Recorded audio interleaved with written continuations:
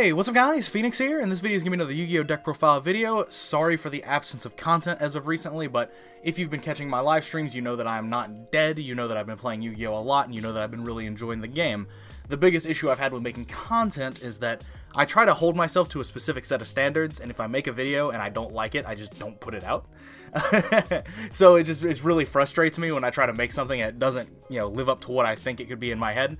So I end up just not making anything. But hopefully we can change that, and hopefully I can pull my head so far out of my own ass to which I could see the fact that I could just put videos out that people would enjoy regardless of whether or not they stand up to my set of standards that I want to put out. But anyway, what I've got for you today is a Lunalight deck profile. This is not the list that I played at YCS Vegas, but I did play Lunalights at the 3v3 YCS in Las Vegas this past weekend. My entire team played Lunalight.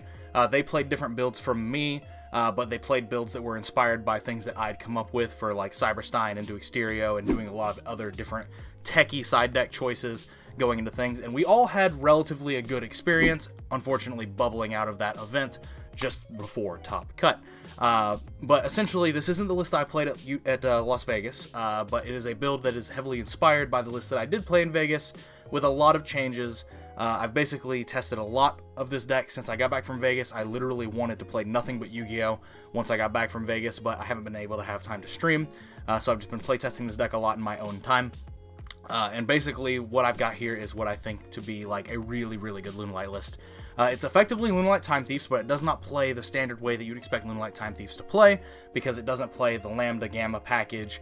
It plays a lot of, you know, just big combo energy Lunalight strategies and theories, but still plays Winder for retrograde because I believe the Time Thief ending boards are some of the most developed and oppressive boards that the Lunalight deck can make because it just handles such a plethora of different things that you could throw at it. Uh, effectively, like having Trap Under Redoer plus Retrograde every single turn one handles a lot of stuff, and then on top of that, they're playing under Dweller and an Apollousa for two or three negates.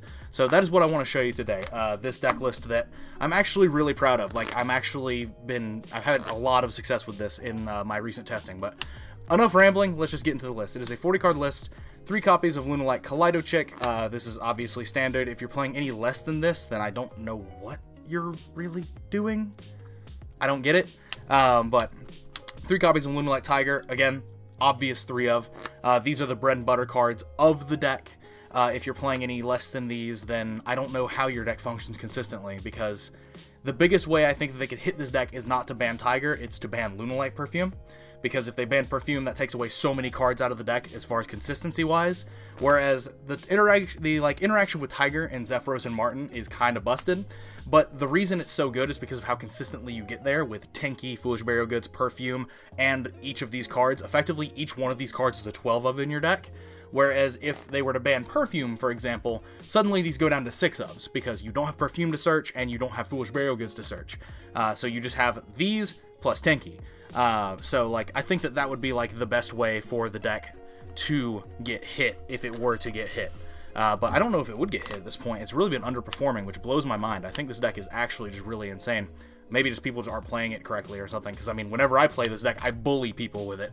But anyway, carrying on, uh, two Marten and one Emerald Bird, and then one honorary Lunalight card in Blackwing Zephyros the Elite. This is effectively a Lunalight card in everything but name. Honorary Dragooney card, honorary Lunalight card, anything but a Blackwing. honestly. Uh, this ratio is kind of standard.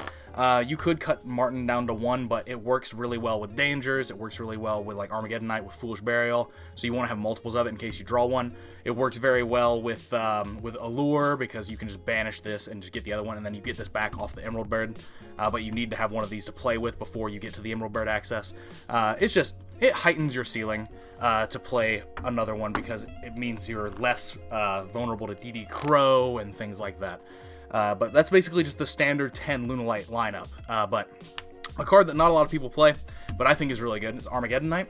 Uh, Armageddon Knight does so much. It combos with everything in the deck. Combos with Tiger, combos with Perfume, uh, combos with Dangers. If you're playing Magician Souls, it combos with that. Spoiler alert, I'm not playing Magician Souls in this build. Uh, I don't think the card's bad per se. I just don't think it fits what I want to do for this build, which is to play every single game that it has. Um, but like this card combos with so much because you just go Armageddon Knight, dump Marten, add Trap.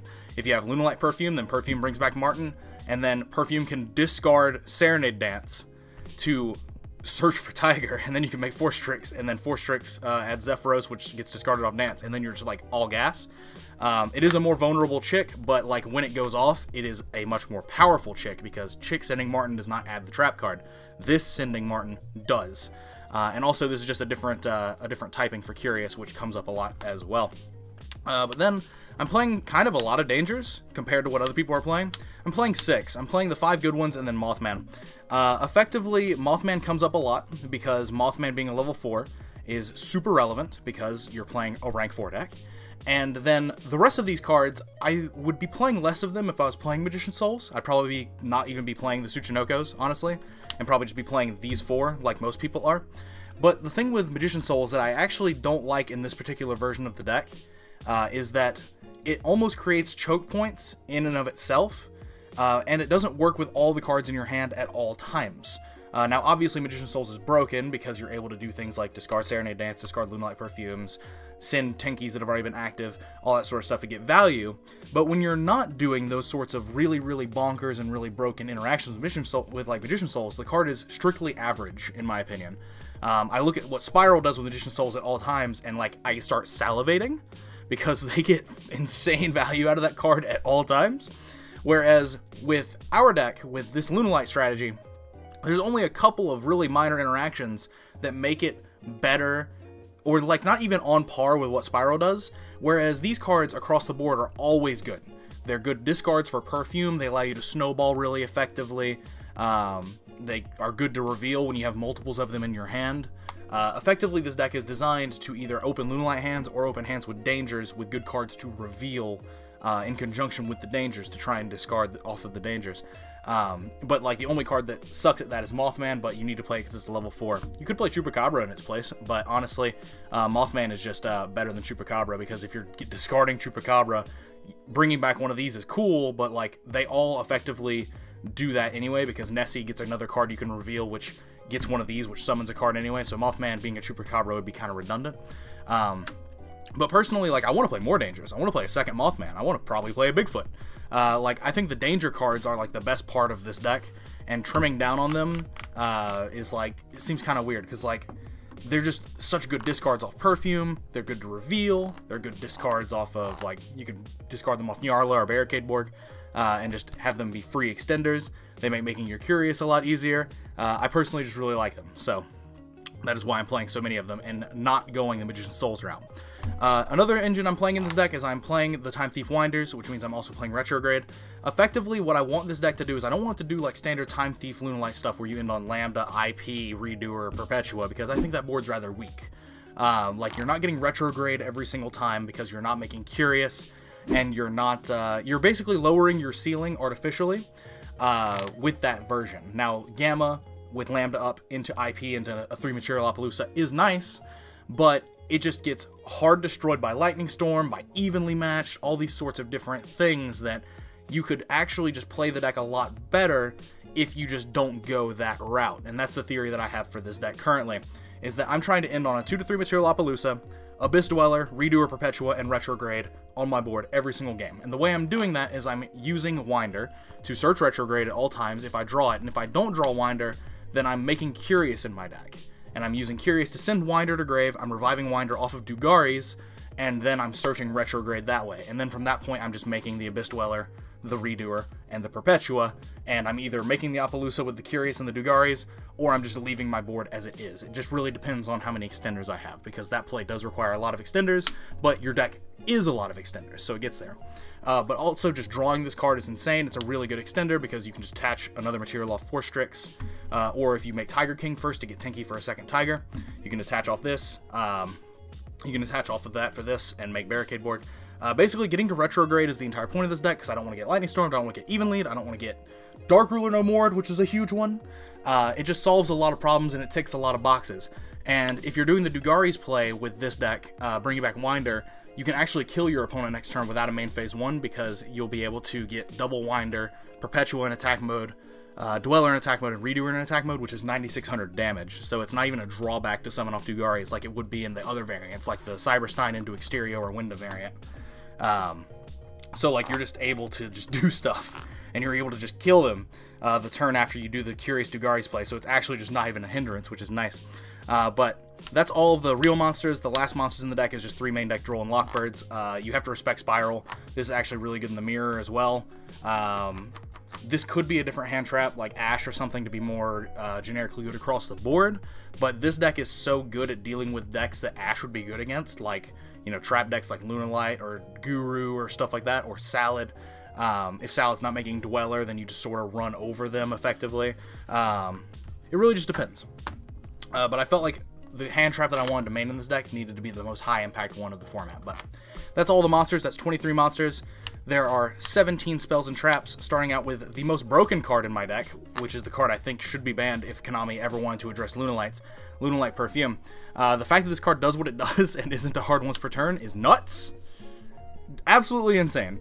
Um, but like I said earlier, if you uh, if you ban this card instead of Tiger, the Tiger interaction still exists with the rest of the deck, which makes the deck possibly good at being like a fusion based strategy, which is what it's intended to be, what it's designed as, then can also throw a couple of rank 4s in the mix. But with this card gone, uh, you can't play Foolish Burial Goods as a Rota, uh, and you can't uh, get like insane value off dangers, you can't uh, multiple Reborn cards, because this card being Monster Reborn and then also a Rota is really oppressive. It just does double duty.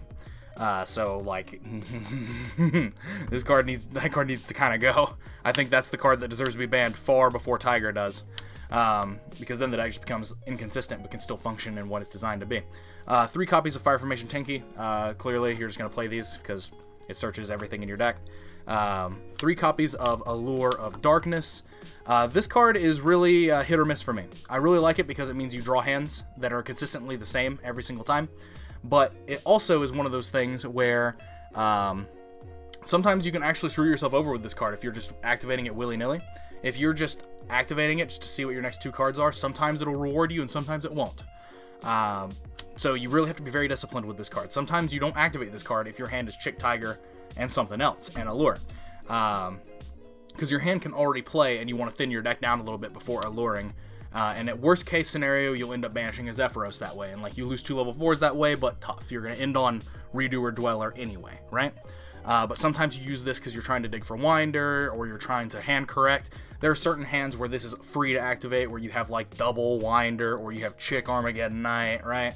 A card you know you're going to banish and not lose anything from, but it's still one of those cards that's kind of like, eh, sometimes. Sometimes it's bad, sometimes it's good, but I still think that it's really nice because of how just simple it is.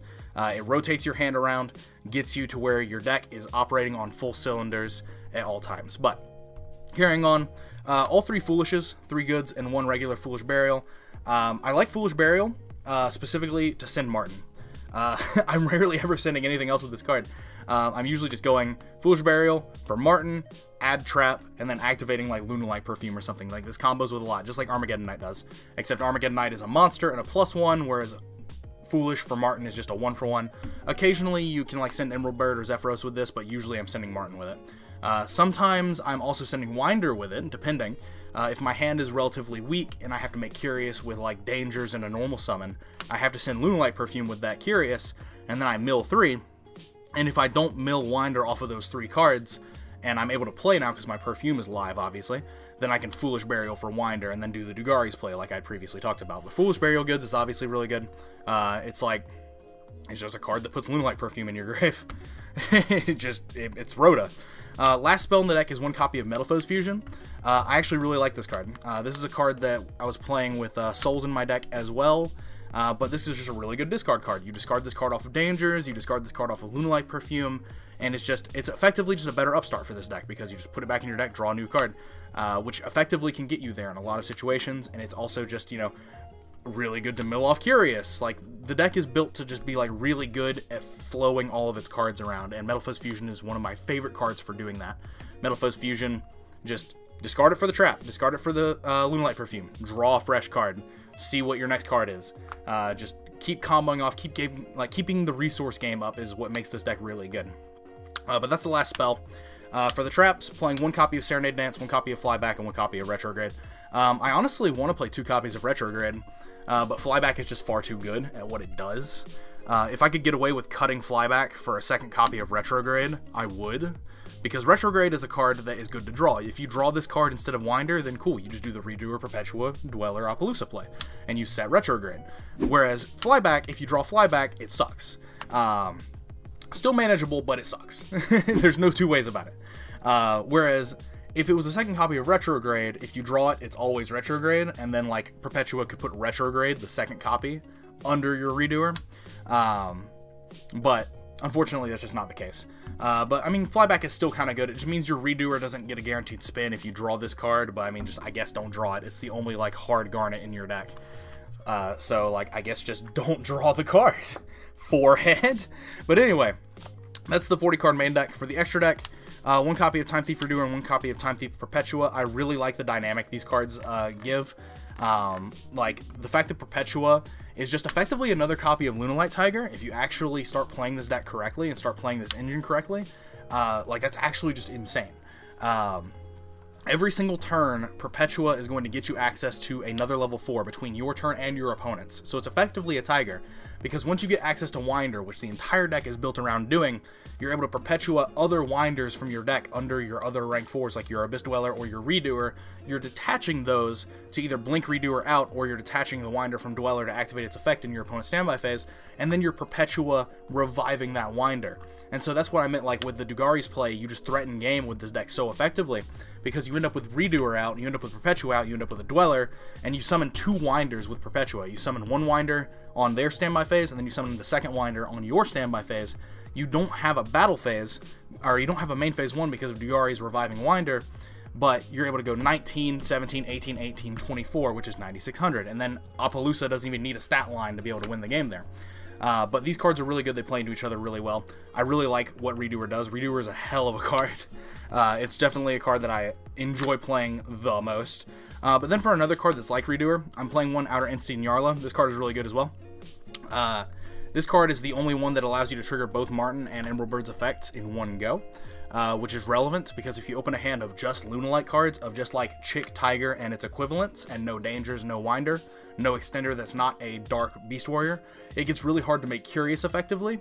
But Nyarla like changes that because Nyarla allows you to trigger both Marten and Emerald Bird underneath a barricade board blocker.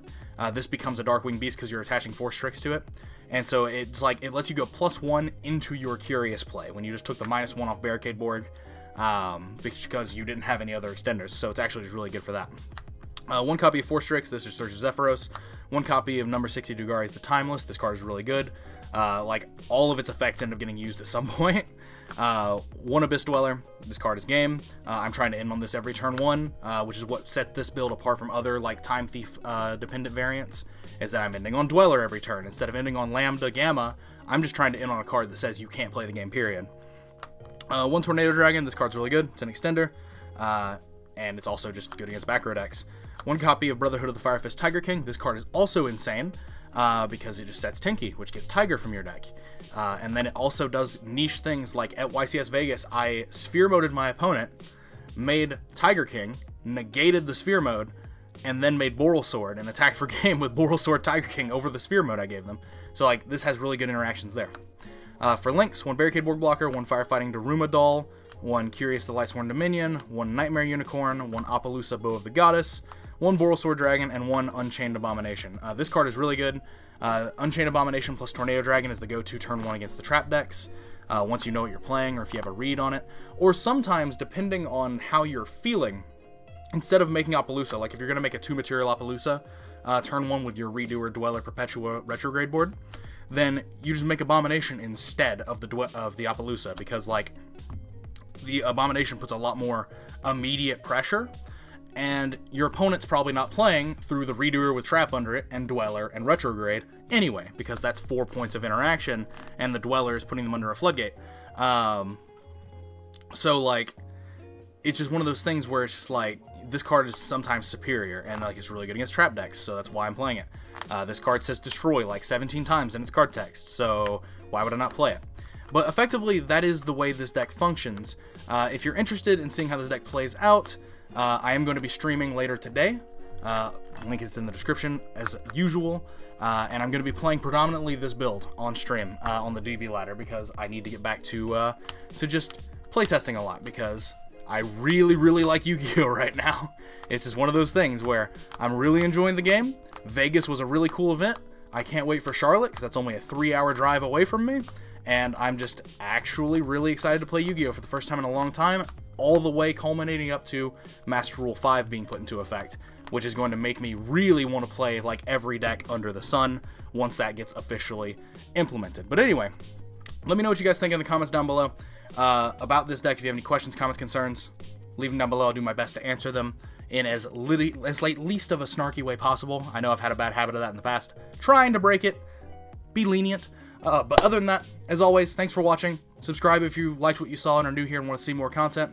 Other than that, I guess that's going to be it for this video. Sorry about this being a long one, but I felt like there was a lot to talk about. But anyway, thanks for watching, and take care, guys. I will see you in the next video.